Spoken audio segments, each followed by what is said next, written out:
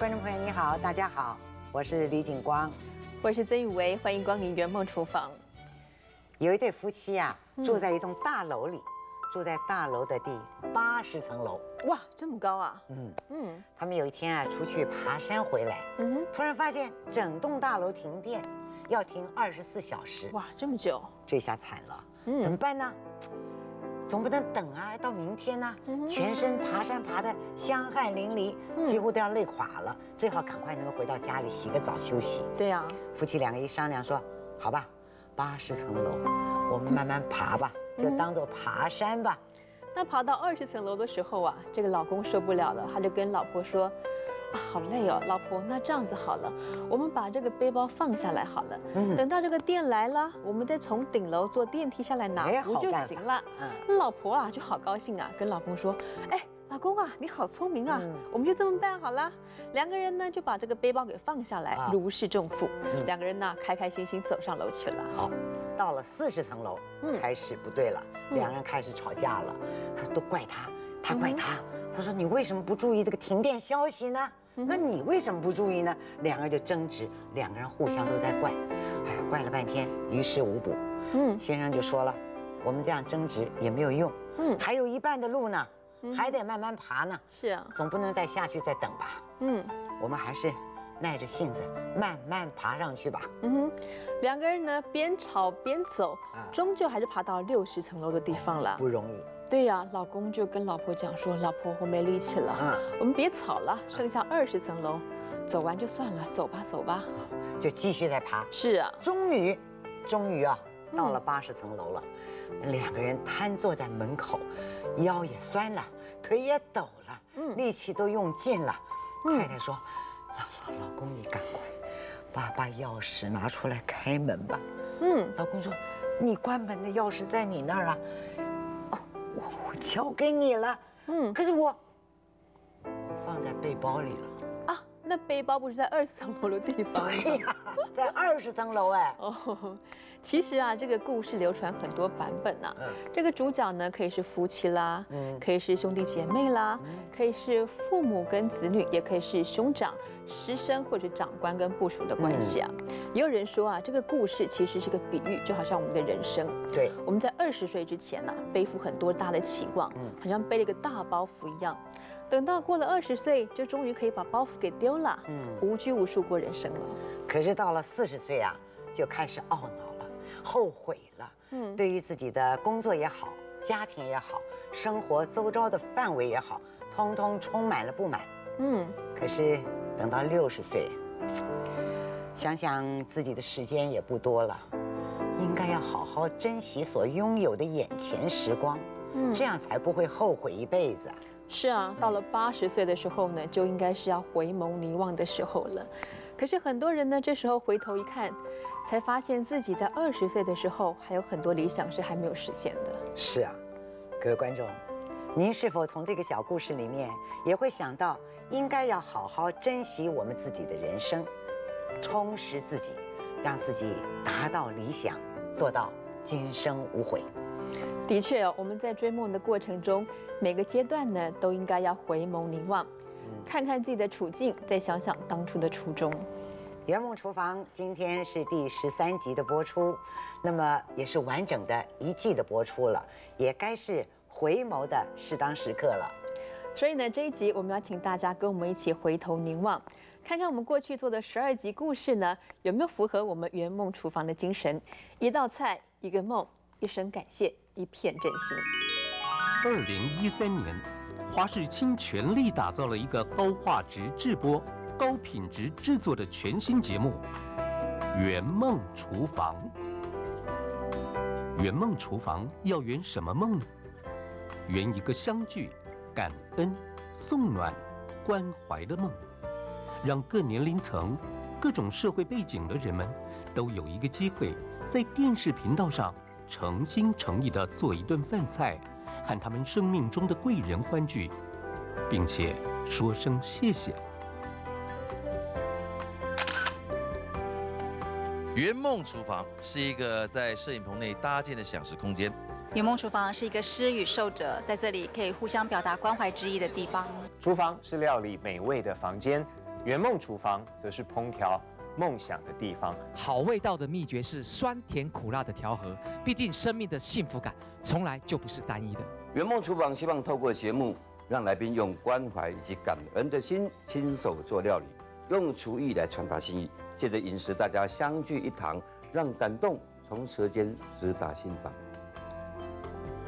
欢迎光临圆梦厨房。刚才我们看到的是《圆梦厨房》第一集播出的时候，对观众朋友们所做的承诺。我们节目中不造神，不追星，只是传达平时生活中的感动而已。今天这一集呢，我们要回顾过去一季的精彩片段。李姐啊，你最印象深刻的是哪一集啊？哦，那是万沙浪那集了。嗯，万沙浪真的不容易，他也是我们台湾歌手当中第一个登上大陆春晚节目的歌星。嗯，他因为喝醉了酒摔伤了脑部，一夜之间失语、失智、失能。幸好他的女朋友 Judy 一路上不离不弃，带着万沙浪到处求医。万沙浪的真情告白，真的让人动容。送医的时候，其实已经不认得人了，但是他唯独认得你，对不对？他醒来的时候，那个时候是是星光医院，碰到我之后，他两泪盈眶啊。然后呢，看到我，他非常的紧张，然后就，嗯，他就看到我之后，他就一直啊讲不出来这样子。那我过去抱着他，然后他就说贝贝贝贝蒂，我说对，我是贝蒂这样子。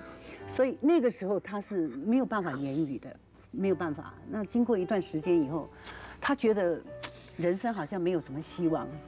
啊，不要难过，不要难过。那时候我就很痛苦，差不多我在哭，他也在哭。那我想，我不可以这样，我应该坚强一点。如果这样走下去，这条路更长。因为我就决定，我就说，把餐厅全部卖掉，带了他去香港、新加坡、马来西亚去拯救。当没钱的时候，那我就心里又担心又难过。那我哭的时候，他也哭。他知道你难过，他知道我难过。你知道他难过吗？对，他知道。对你知道他为什么难过吗？没有办法，对不对？哭就是哭啊。那我这个人又好面子的，又不喜欢就是接受人家的，所以到我没钱的时候，我就卖房子；没钱的时候，卖房子。对。然后在这段时间里面，我跟他生活在一起，不像以前，嗯，像夫妻一样的那种感觉，就变成他是一个小孩子。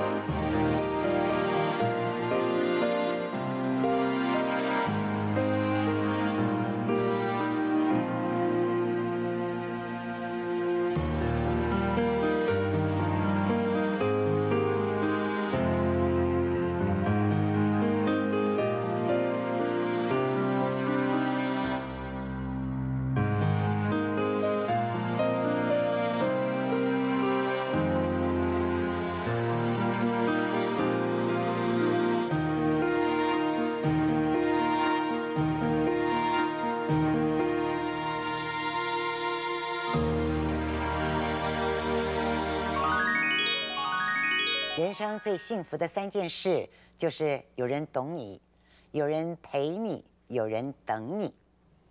世间知音难寻，但是我们访问了一位艺术家徐浩翔，跑到蒙古学习独特的呼麦唱法，吸引了五个志同道合的知音，组成了海马乐团。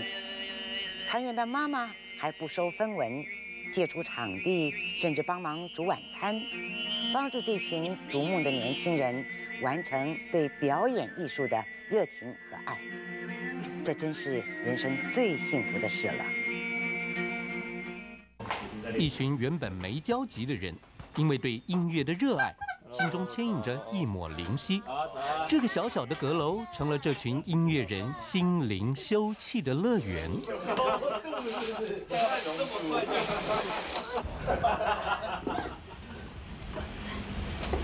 那个，我前面会说什么？想说今天有人，你不要再一直开我们上面。你有没有诈骗？你可以跟你那个四黄的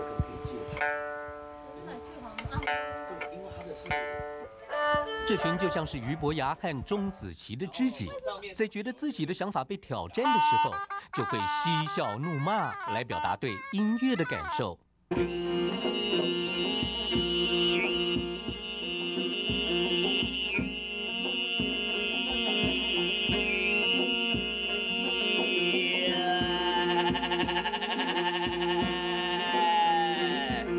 所以佳琪，你在听到我唱高音的时候，你你不用你不用做这个，你就飞要，就自己飞掉，对，你就自己。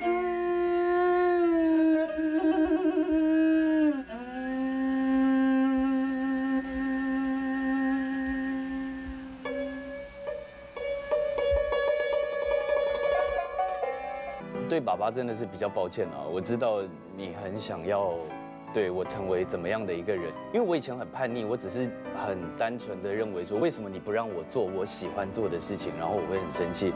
但是有一次他跟我讲的话让我反省了很久，他说他觉得我是一个很自私的人，嗯，我只想到我自己要什么，我要过什么样的生活，我都没有去在乎到爸妈其实他们会希望。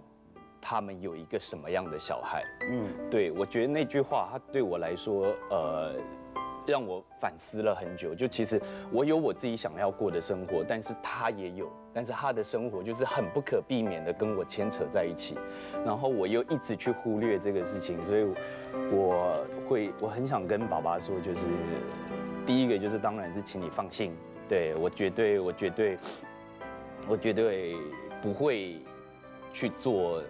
任何的坏的事情，但是其他的就是，我真的很希望我可以努力到有一天是你会愿意跟人家承认，以你为荣。有一天他已经以你为荣了，爸爸会以你为荣。海马乐团这几个年轻人呢，窝在小小的排练室，追逐自己的梦想，跟他们一样坚持不放手，直到梦想到手的，还有景美女中大合队。这群十六到二十几岁的女孩，用自己的双手，一点点，一寸寸。将粗重的绳子往后拉，用忍耐、孤独、疼痛、压力，换得三年十五座的国际比赛冠军奖杯。有人说他们是台湾之光，有人称他们是省力女孩。幕后推手就是女孩们口中的教练郭老，心目中的第二位爸爸。这个在大家面前总是刀子口豆腐心的教练，听到女孩们的心底话。还是忍不住流下男的泪。郭老，我有话想对你说。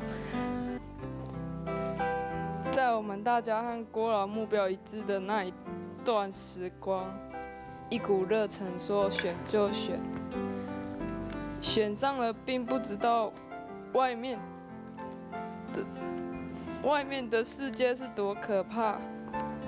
郭老，你依然在前面帮我们开路。